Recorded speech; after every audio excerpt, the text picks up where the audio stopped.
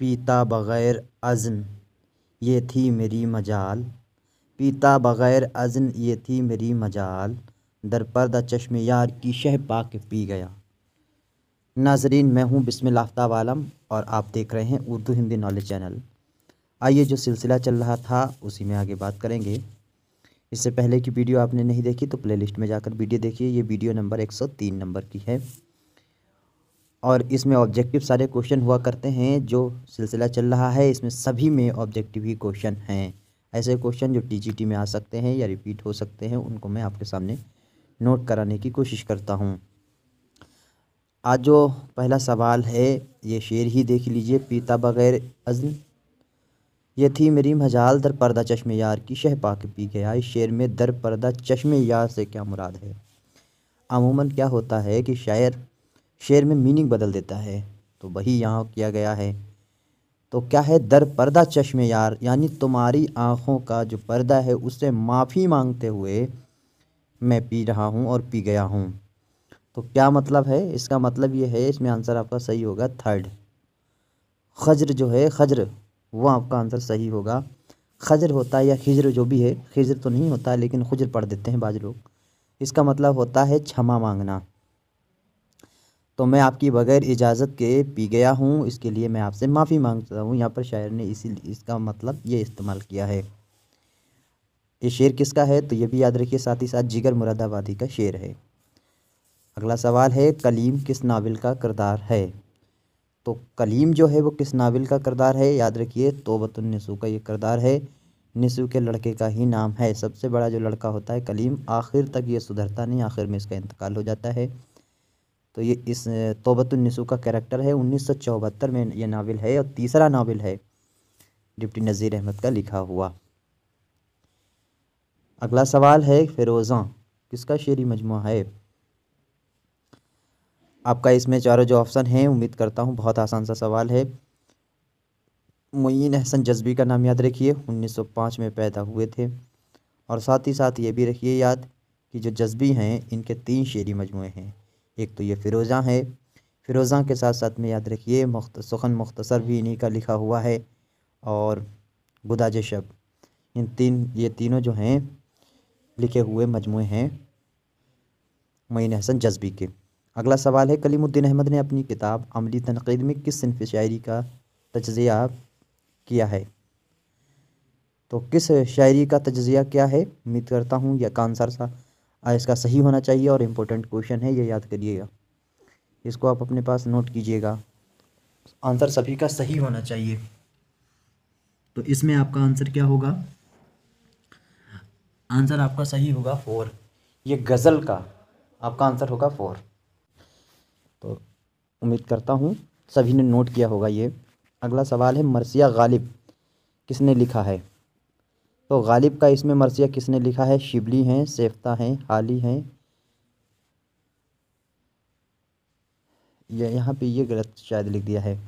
तो इनमें किसने मरसिया लिखा है? गालिब का तो आपको याद रहना चाहिए, हाली ने लिखा है। गालिब नाम की नज़म किसने लिखी है? तो वो भी याद रखिएगा, वो लिखी है इकबाल ने।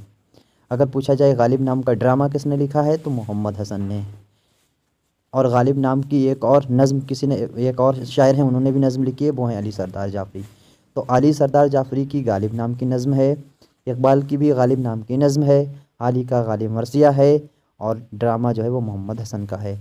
इतनी चीज़ें याद रखना है आपको। सवाल है कि किस शायर के कसीदा में दो तवील गज़लें मिलती हैं?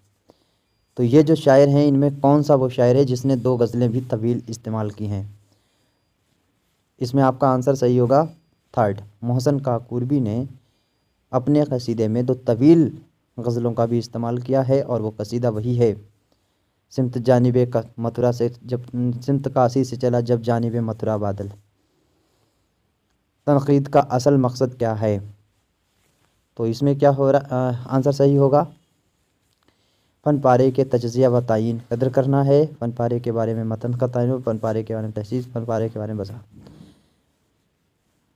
आपका आंसर सही होगा। फिर कदर मुतन करना होता है तयन कदर की तयन करनी होती है तनकीद में और तनकीद में इस्तदलाल का होना भी ज़रूरी माना जाता है।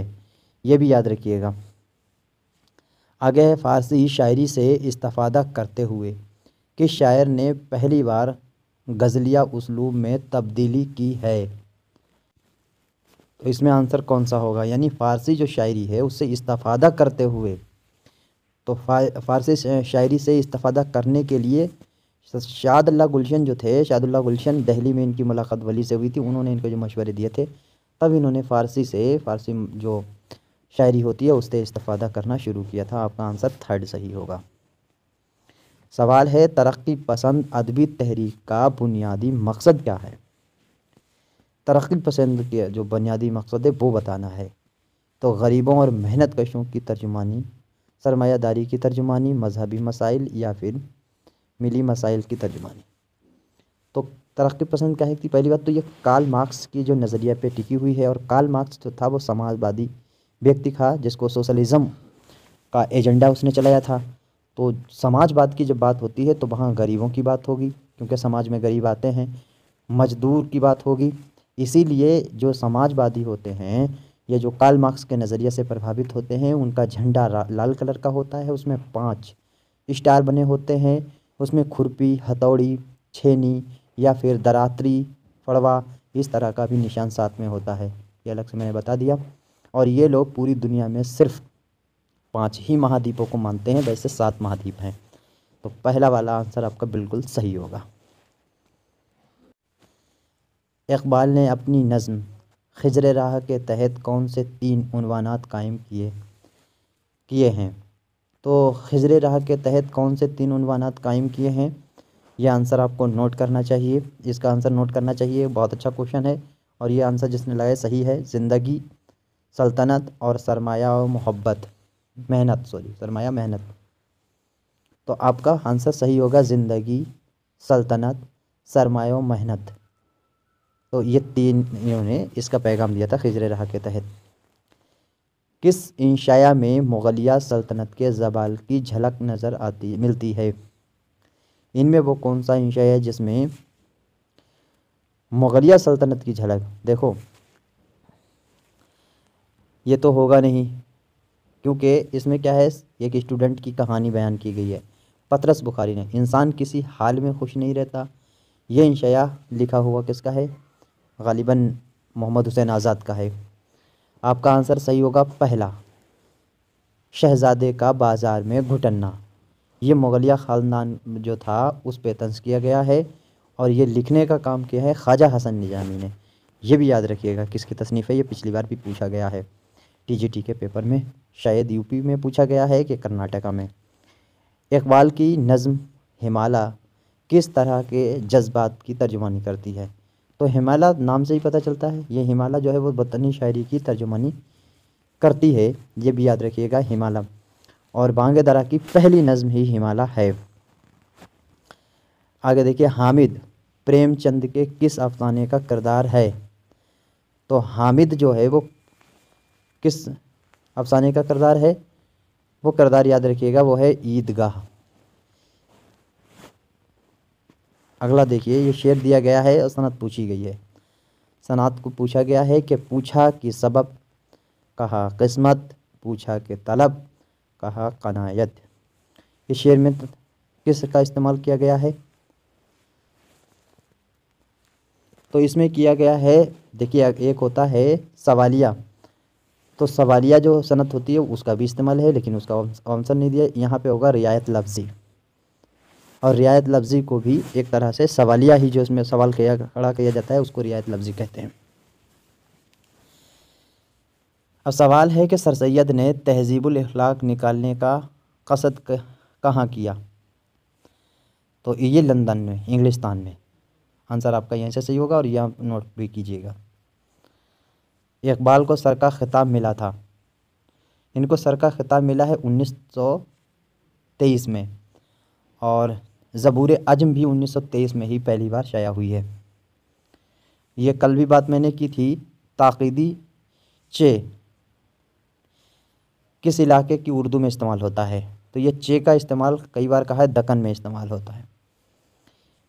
किस अफसाने के यहाँ, किस अफसाना निगार के यहाँ वर्ज, वर्जीना वल्फ के असरात पाए जाते हैं? तो इनमें वो कौन है जिसके वहाँ वर्जीना वल्फ जो है, अंग्रेज़ी अफसाना निगार हैं? शॉर्ट स्टोरीज राइटर तो उनके असरात किसके वहाँ नज़र आते हैं? तो आपका सही आंसर होगा इसमें चौपाई। आपका सेकेंड आंसर बिल्कुल सही होगा। ब्रज भाषा ने उर्दू के तलफ़ को मैारी बनाने में अहम रोल अदा किया है। ये कॉल किसका है? नोट कीजिएगा कॉल हर हाल में। तो किसने किया है? ब्रज भाषा ने उर्दू के तलफ़ को मैारी बनाने में अहम रोल अदा किया है। वैसे ब्रज भाषा का जहाँ भी जुमला आता है तो आपका जहन जो है, वो आज़ाद की तरफ़ जाएगा।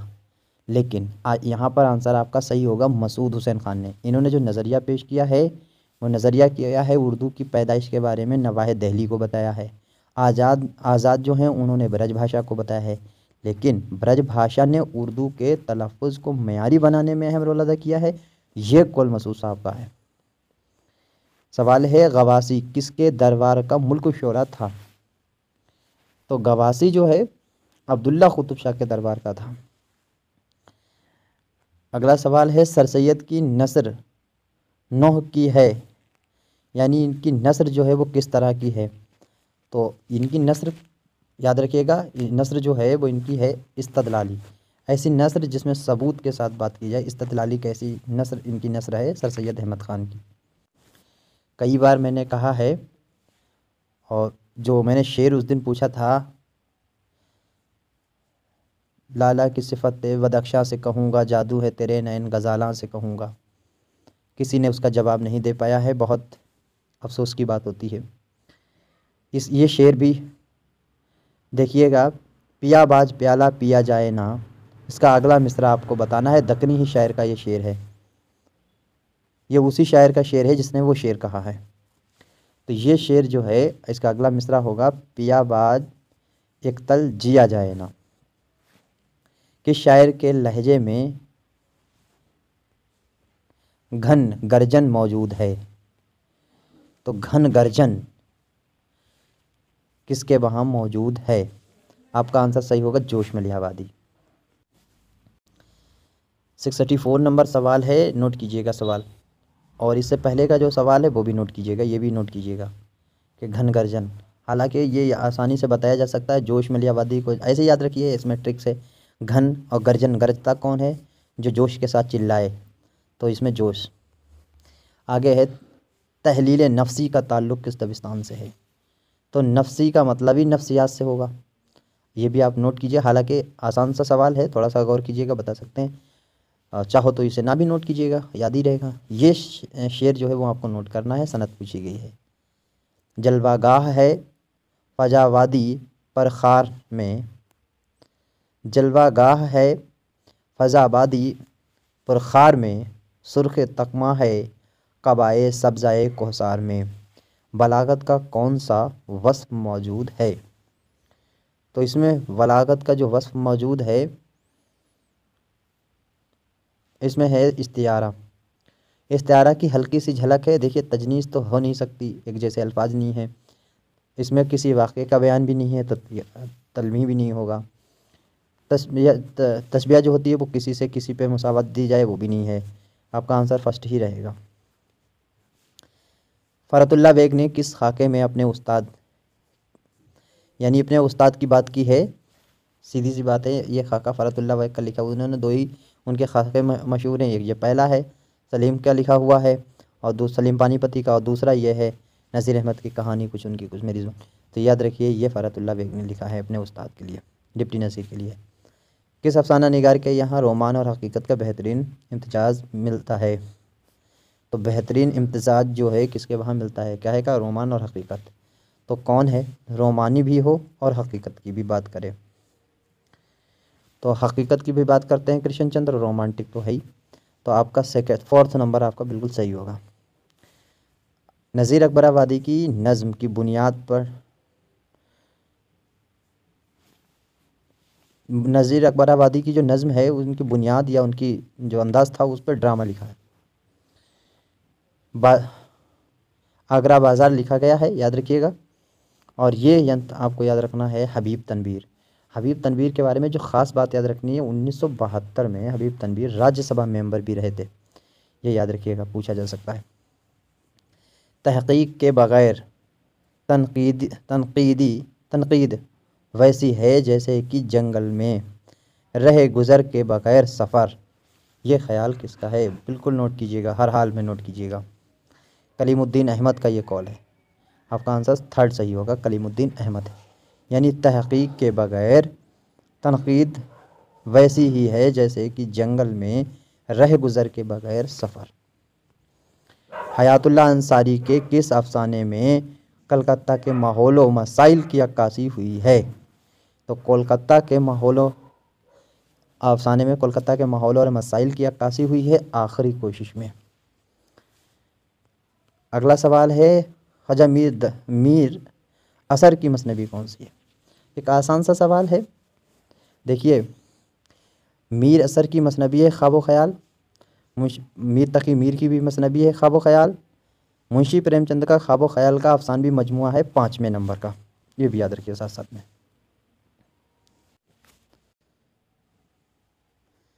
कौन सा ड्रामा आगा हशर काश्मीरी का नहीं है? तो कौन सा नहीं है? देखिए, आँख का नशा है, यहूदी की लड़की है, दिल के, दिल की प्यास है। पर्दाए गफलत ये नहीं है, आबिद का है, लिखा हुआ ये। इसके बाद अगला है शुरा उर्दू के तस्करों में किस नो, नोयत की तनकीद मिलती है? तो किस तरह की तनकीद? शुरा उर्दू के जो तस्करे हैं, उन तस्करों में किस तरह की, किस नोयत की जो है, तनकीद मिलती है? तो ये आपका आंसर सही होगा। मजलिसी तनकीद। नोट कीजिएगा, बहुत अच्छा सवाल है, मजलिसी तनकीद याद रखिएगा, जो तस्करे हैं, उनमें मिलती है। ये कम तरीन बादशाह बादशाह ज़्यादा अजम का है। बागो बहार में किस दरवेश ने ये इतला अपने बारे में दी? मैंने कई बार इसको कहा है, पहला दरवेश कहाँ का था? याद रखिए, पहला दरवेश की बात अगर की जाए तो पहला दरवेश यमन का। दूसरा पूछा जाए, फ़ारस का। तीसरा ये अजम का, यही है तीसरा अजम का। तीसरा सही होगा। और चौथा है वो चीन। आखिरी सवाल है, किस नसरी सिंफ में महम जोई के अनासर मिलते हैं? तो किसमें मिलते हैं? महम जोई के अनासर। आपका आंसर आपका सही होगा, थर्ड, यानी दास्तान। याद रखिएगा दास्तान के बारे में। दास्तान जो है उसमें से सिनफ में जो है नसर ऐसे मिलते हैं। ये नोट कर सकते हैं किस नसर में, सन, किस नसरी सिनफ में महम जोई के अनासर मिलते हैं। तो दास्तान को अच्छे से याद रखिएगा। उम्मीद करता हूँ सारे क्वेश्चन आपको अच्छे लगे होंगे। अगर मैंने जल्दी जल्दी पढ़ाया है, क्वेश्चनों को आंसर टिक किया है तो आप स्पीड स्लो कर सकते हैं और देर में अगर किया है तो आप स्पीड बढ़ा करके भी वीडियो देख सकते हैं। जो क्वेश्चन गलत हुए हैं, उनको अपने पास ज़रूर नोट कीजिएगा अगर अच्छी तैयारी चाहते हैं। कोई सवाल गलत हो तो ज़रूर बताइएगा। मैं आपका बेहद शुक्रगुजार रहता रहता हूँ। आपका कोई मशवरा है तो भी दे सकते हैं।